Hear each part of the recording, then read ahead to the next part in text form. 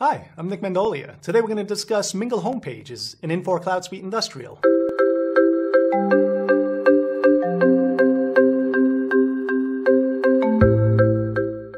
Ming.le homepages are a way for a user to create a centralized area that has all of the things that they use in their functional area on a regular basis. Intelligence reports, key performance indicators, they can look at the collaboration they have with other users, shortcuts to things they use the most within their system, and it's easy for them to modify themselves and personalize. We're going to show how easy that is here. Infor provides standard templates for all of the major functional areas within the system. As you can see, I'm looking at my executive homepage. However, I can choose from an existing page catalog with pages for controller, buyer, customer service, inventory control, and so on. So I would choose which is closest to represent me, and then we're going to show you how we can modify that or combine home pages together because perhaps you cover multiple roles. So I'm going to start with our executive homepage and say that that fits me close enough. I'd like the data that's included on here, except perhaps I want some more data. And if I look at my quality control homepage as an example, maybe I want to include something like my QC rejection percentage by item on my executive homepage. Very easy for an end user to modify and create their own doing this. The first thing we want to do is make a copy of our executive homepage.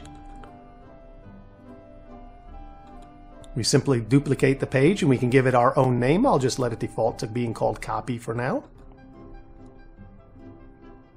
And once I have a copy of that page, I can now modify this to my liking. So in our example, one thing that I wanted to do was add some QC metrics. So it's very easy. I'm simply going to edit. I can go to the bottom and you see the little plus sign. All of these little boxes are considered widgets. So I'm just going to add a new widget. And then of course I have a library to choose from. And there are dozens upon dozens of existing widgets that I can add to it. I can even create my own if one does not exist. But here, we're just going to do a quick search for QC and find those QC widgets. And the one that I wanted to add was this rejection percentage, so I'm just going to click the little plus to add it. When I close it, I come back to my page, and you can see it's been added to my page. Now, while I'm here, some other things that I can do are things like maybe I want my pipeline value widget to be a little bit bigger because it's a graph and I like it to be slightly larger. Perhaps I want to move my PO funds committed next to my cash received since they're both cash related widgets. I can just slide that over.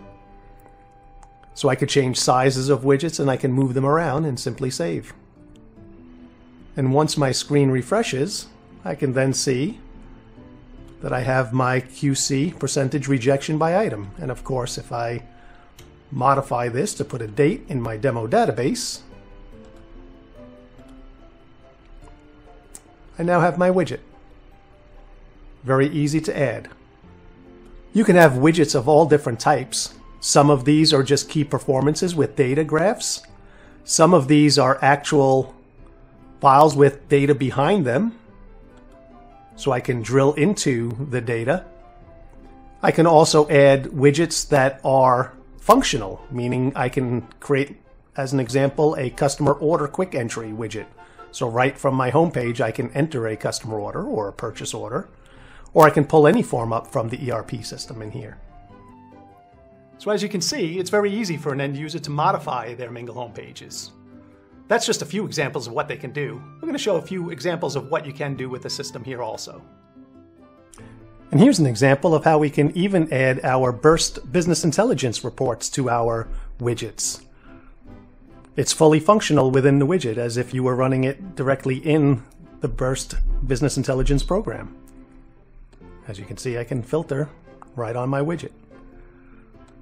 I can also add things like my critical numbers and still be able to drill into them to get my data.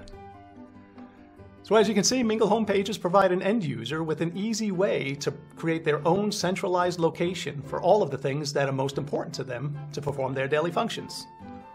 Hopefully you enjoyed this video.